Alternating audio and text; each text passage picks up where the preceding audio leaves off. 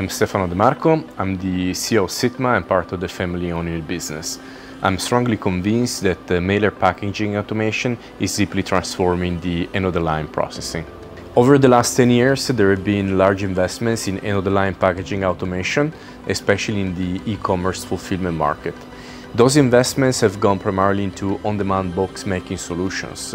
However, uh, now things are really changing and the e-commerce and 3PL companies are looking into the next wave of automation and it is definitely the time for on-demand sustainable mailers. Sitma has been a pioneer and leader in end-of-the-line mailer automation.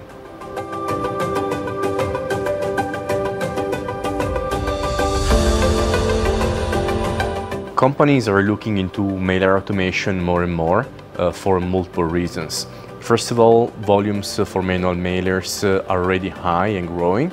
Therefore, it makes a lot of sense to look into automation. Uh, second, there is a need to remove plastic from outbound e-commerce fulfillment process. And third, right-size mailing offers a really great saving.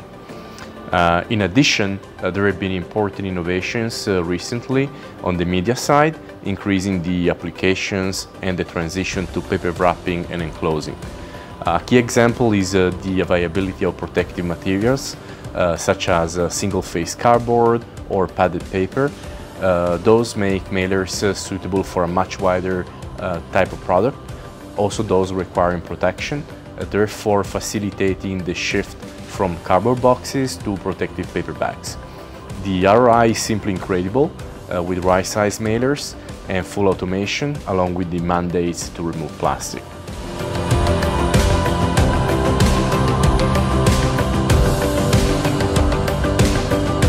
There are several advantages in mailer automation versus uh, box automation. Uh, I will mention five. So number one, shipping costs. Right-sized mailers have a substantially smaller overall dimensions, lowering dimensional shipping charges of a mailer versus a box dramatically. This is why plastic manual mailers are so widely used today. Uh, second is material saving. Right-size mailers use substantially less material, making the packaging more economical and generating lower waste and associated recycling costs. Number three, uh, there is certainly higher throughput. So um, mailers uh, go from 700 to 3200 packages an hour and uh, therefore mailer automation are considerably more productive. The productivity by square meter is much higher and this can extend the life of the building by handling more volumes as the end of the line is typically a limitation in the fulfillment process. Number four, lower investment. There is significant lower capital investment per throughput compared to box automation systems. And finally, number five, smaller footprint. Automated mailer system can be as small as 10 square meters.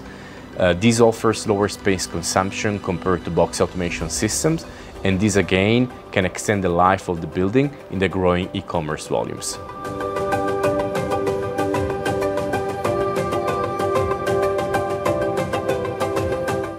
We are seeing a strong increase in projects and rollouts from all the sides. Uh, you know, there are companies which ship 1 million pieces of mailers a day and they still do all mailers manually today. And there are companies which are scaling up volumes and are looking at how to structure the flow to their end of the line operations.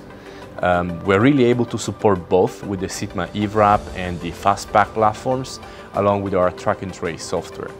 Recently, we've completed an install of two Sitma Fastpack systems at a large apparel brand, and the project uh, had an ROI of less than eight months. And removing plastic from their outbound e-commerce process was, of course, also part of this. This is really amazing and proves it is the right direction for brands and logistic companies. We find partner with our customers as a key to success and customers really like to collaborate with Sitma to address the mandate to remove plastic and increase automation.